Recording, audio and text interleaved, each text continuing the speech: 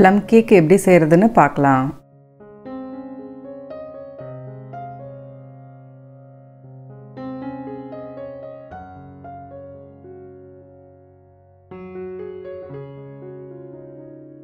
தேவையான ட்ரை ஃப்ரூட்ஸையும் நட்ஸையும் எடுத்து ஒரு பாத்திரத்தில் சேர்த்துக்கிறேன். அதில் வந்து முங்குற அளவுக்கு ஆரஞ்சு ஜூஸ் சேர்த்துக்கிறேன். இதுக்கு பதிலாக நீங்கள் கிரேப் ஜூஸ் கூட சேர்த்துக்கலாம். இது அடுப்பில் வச்சு ஒரு ரெண்டு நிமிஷம் வேக வச்சு எடுத்துக்கிறேன். ரொம்ப நேரம் வேகணும்னு தேவையில்லை. நல்லா ஒரு ரெண்டு நிமிஷம் பொங்கி வெந்தால் போதும். அதுக்கப்புறம் அடுப்பு ஆஃப் பண்ணிடுங்க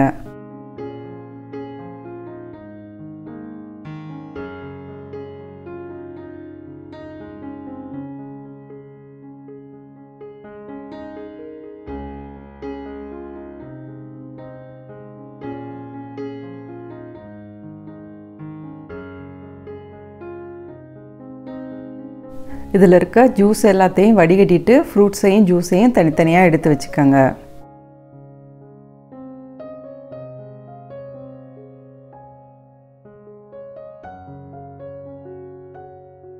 பட்டை கிராம்பு ஏலக்காய் அன்னாச்சிப்பூ இது எல்லாத்துலேயும் சின்ன சின்ன பீஸாக எடுத்து இருபத்தஞ்சி கிராம் சர்க்கரையோடு சேர்த்து மிக்சியில் நல்லா பவுடர் பண்ணி அரைச்சிக்கிறேன்.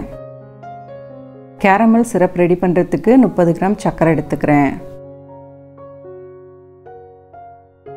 பாத்திரத்தை அடுப்பில் வச்சு லோ ஃப்ளேம்லேயே வச்சு நல்லா மிக்ஸ் பண்ணி விடுங்க.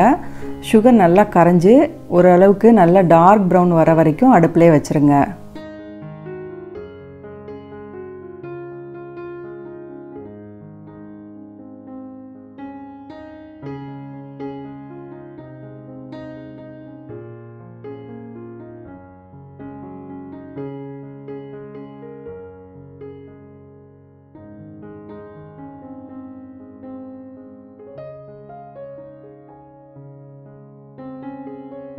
இந்த மாதிரி கோல்டன் கலர் தாண்டி ஒரு டார்க் ப்ரௌன் வந்ததுக்கப்புறம் இதில் தேவையான சுடுதண்ணி சேர்த்து நல்லா மிக்ஸ் பண்ணிக்கோங்க. சுடுதண்ணி சேர்த்தோடனையுமே சிரப் கொஞ்சம் லூஸ் ஆக ஆரம்பிச்சிரும். ஒருவேளை ஆறுனதுக்கப்புறம் உங்களுக்கு திக்காக இருக்கிற மாதிரி ஃபீல் பண்ணிங்கன்னா இன்னும் கொஞ்சம் சுடுதண்ணி சேர்த்து மிக்ஸ் பண்ணிங்கன்னா நல்லா லூஸ் ஆயிரும். இந்த சிரப்பை ரெடி பண்ணி அப்படியே எடுத்து ஒரு பாட்டில்லையோ இல்லை ஏர்டைட் பாக்ஸ்லேயோ கண்டெய்னரில் போட்டு நீங்கள் ஃப்ரிட்ஜில் சிக்ஸ் மந்த்ஸ் வரைக்கும் ஸ்டோர் பண்ணி யூஸ் பண்ணிக்கலாம். ஒன்றுமே ஆகாது. இதில் வேறு எதுவுமே சேர்க்க வேணாம். நீங்கள் தேவைப்படுறப்ப எடுத்து லைட்டாக சூடு பண்ணிவிட்டு அதுக்கப்புறமா டேரெக்டாக நீங்கள் கேக் மிக்ஸில் ஆட் பண்ணிக்கலாம். கேக்கில் ஒரு கசப்பு டேஸ்ட் கொடுக்கறதுக்காக தான் இந்த கேரமல் சிரப் சேர்க்குறோம். அதனால் நல்லா கொஞ்சம் ப்ரௌன் ஆகிற வரைக்கும் வச்சுருந்து அதுக்கப்புறமா எடுங்க.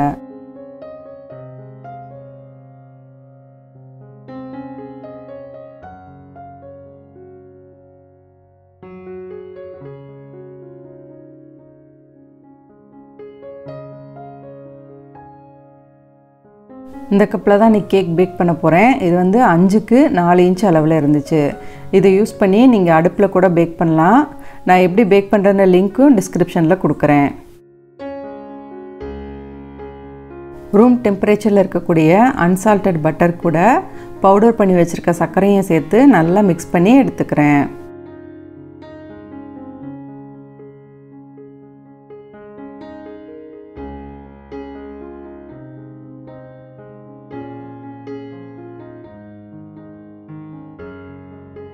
இது ரெண்டும் நல்லா மிக்ஸ் பண்ணதுக்கப்புறம் முட்டையும் சேர்த்து நல்லா மிக்ஸ் பண்ணிக்கிறேன்.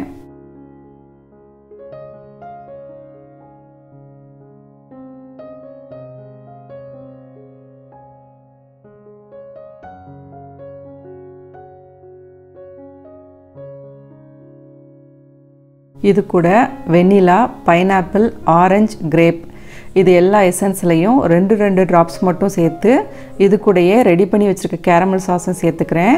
அதுக்கப்புறமா ரீஃபைண்ட் ஆயிலும் ஒரு ரெண்டு டேபிள் ஸ்பூன் சேர்த்து இது எல்லாத்தையும் நல்லா மிக்ஸ் பண்ணி எடுத்துக்கிறேன்.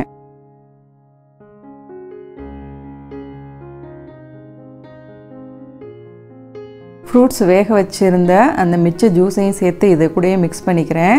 நார்மலாக இதில் வந்து ஜாம் மிக்ஸ் பண்ணுவேன். அதுக்கு பதிலாக இந்த ஜூஸ் சேர்த்தனால இன்றைக்கி அதையே சேர்த்து மிக்ஸ் பண்ணி எடுத்துக்கிறேன்.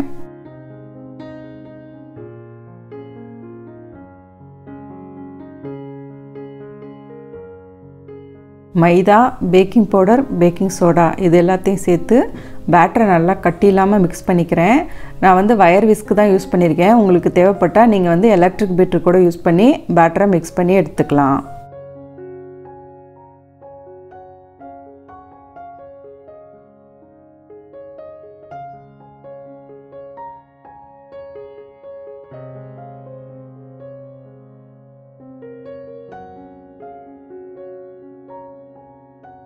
ட்ரை ஃப்ரூட்ஸ் கூட மைதா மாவு ரெண்டு டேபிள் ஸ்பூன் சேர்த்து நல்லா மிக்ஸ் பண்ணிக்கிறேன்.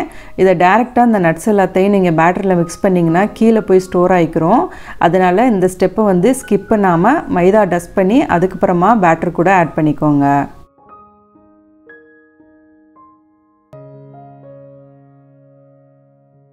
மிக்ஸ் பண்ண பேட்டரை கப்பில் சேர்த்து பேக் பண்ணிக்கிறேன். இந்த கப்பு வந்து கால் கிலோ பேக் பண்ணுறதுக்கு கரெக்டாக இருக்கும். இப்போ மாவோட அளவு பார்த்தீங்கன்னா கால் கிலோவுக்கு இருபது கிராம் கூட இருக்குது பேக் பண்ணி வெளியே எடுக்கிறப்ப வெயிட் குறையும். அப்போ கால் கிலோ கரெக்டாக இருக்கும்.